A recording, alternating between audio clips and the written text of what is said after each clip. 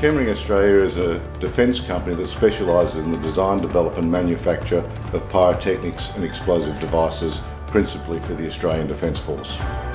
Chemring has been contracted to supply countermeasures to the Royal Australian Air Force for the next decade. As part of that, we had to develop a countermeasures manufacturing facility, the only one in the Southern Hemisphere. Countermeasures are used by uh, operational aircraft to protect the aircraft and the crew against incoming enemy missiles. We've chosen Sage Automation as our local automation partner to design, develop, install and commission the automation systems required in this safety critical manufacturing operation.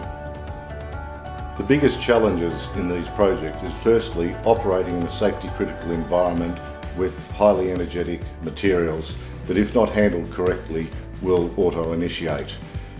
In developing the facility we've been conscious of keeping people outside of the danger blast area which means that all of our systems need to be fully automated.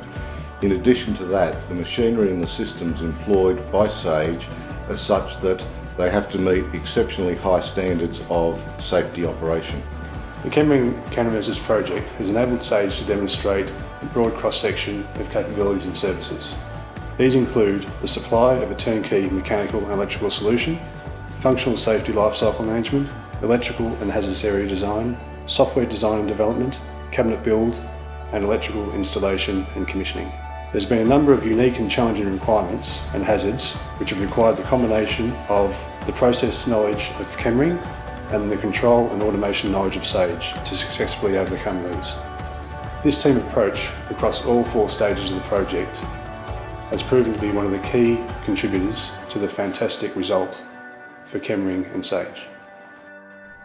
Our facility is now fully operational, having produced now in excess of 50,000 countermeasures for the Royal Australian Air Force. The quality yield of the facility that Sage has installed is way above expectations and above the standards met in other parts of the world. In addition to that, SAGE have met all of the required safety parameters and in many cases exceeded the safety parameters that we set them. Going forward, this facility gives us significant opportunities for further work with the Australian Department of Defence. This has in large part been enabled by the flexibility of the systems developed and installed by Chemring and Sage in our new facility.